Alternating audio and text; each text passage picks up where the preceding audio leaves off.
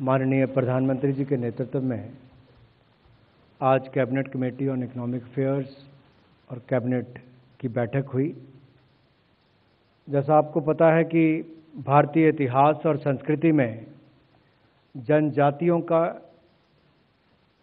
विशेष स्थान और उनके योगदान को सम्मानित करने के लिए और आने वाली पीढ़ियों को इस सांस्कृतिक विरासत और राष्ट्रीय गौरव के संरक्षण के लिए प्रेरित करने के उद्देश्य से 15 नवंबर को जनजातीय गौरव दिवस घोषित करने का निर्णय लिया गया है।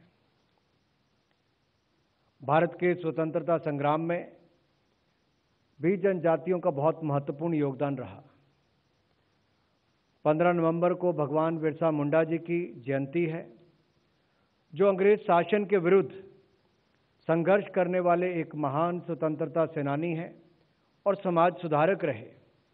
जिनको जनजातीय समुदायों एवं देश भर के श्रद्धापूर्वक स्मरण किया जाता है और देश भर में जिस मान सम्मान, जिस श्रद्धा के साथ उनको याद किया जाता है, उस भावना और इनके आज़ादी की लड़ाई में योगदान को देखते हुए भी 15 नवंबर को जनजातीय गौरव दिवस घोषित करने का निर्णय लिया गया है।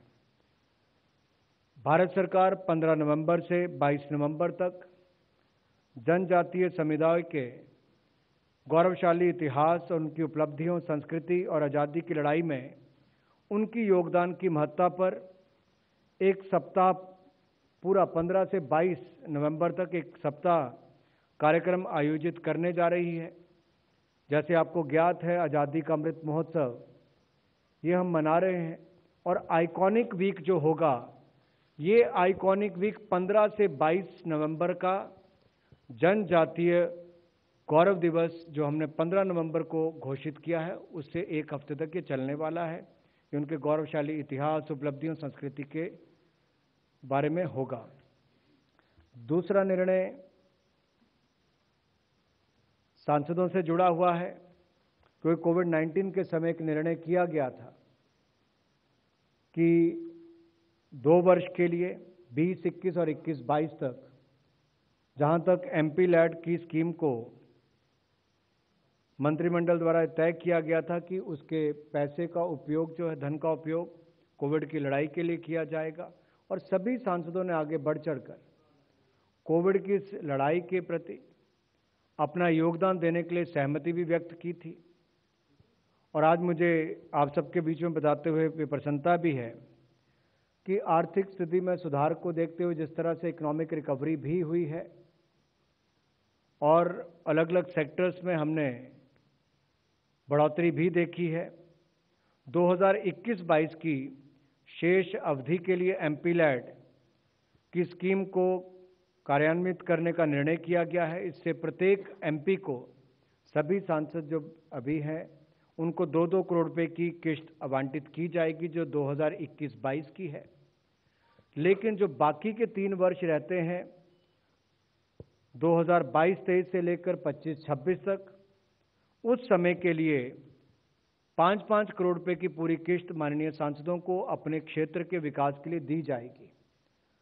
तो member of parliament local area development fund will be made available from this year onwards. Two crore for this financial year will be made available. And from the next year onwards, they will get the full five crore rupee installment, five crore rupee annually. इसके ऊपर 2021-22 में एक हज़ार पाँच सौ चौरासी करोड़ रुपए का व्यय होगा और 2022-23 से लेकर 25-26 तक पंद्रह हज़ार आठ सौ तैंतीस करोड़ रुपए इसके ऊपर खर्च होंगे। इस प्रकार कुल सत्रह हज़ार चार सौ सत्रह करोड़ रुपए का व्यय एमपी लैड पर खर्च होगा और ये सभी माननीय सांसदों को उपलब्ध करवाया जाएगा। तीन और महत्वपूर्ण निर्णय मैं आप सबके सामने रखने जा रहा हूँ कि आर्थिक मामलों की जो मंत्रिमंडलीय समिति है, उसकी अध्यक्षता करते हुए माननीय प्रधानमंत्री जी के नेतृत्व में ये तय किया गया है कि भारतीय कपास आयोग को, सीसीआई को, कॉटन कॉरपोरेशन ऑफ़ इंडिया को सत्रह हज़ार चार सौ आठ करोड़ रुपए की कमिटेड प्राइस सपोर्ट को मंजूरी दी गई है। और ये इसलिए है क्योंकि कपास के क्षेत्र में लगभग 60 लाख किसान सीधे तौर पर जुड़े हुए हैं और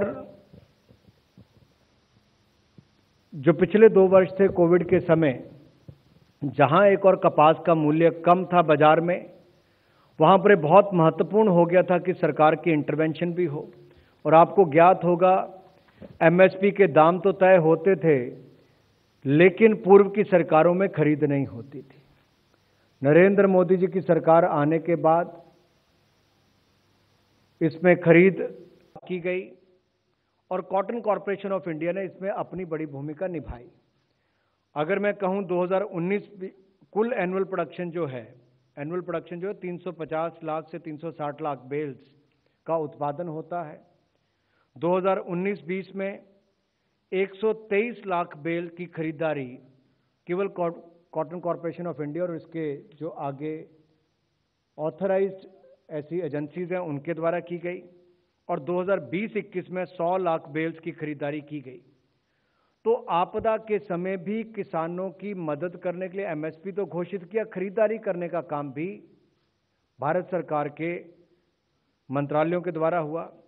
और कपास किसानों के हितों की रक्षा करने का काम भी मोदी सरकार ने इस तरह से किया है। इससे प्रमुखता 11 राज्यों को और उनके किसानों को इसका लाभ मिलेगा।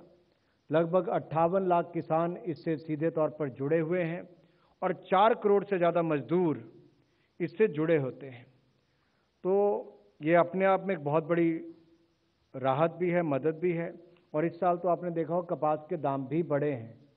तो उस तरह से शायद जो पिछले दो वर्षों में मदद की गई, उसका एक लाभ देश के किसानों को और इससे संबंधित चार से पाँच करोड़ लोगों के हितों की रक्षा करने के लिए भी किया जाएगा।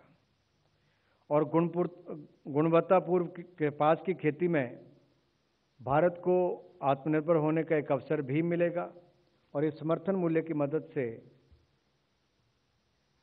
दूसरा जूट का क्षेत्र है।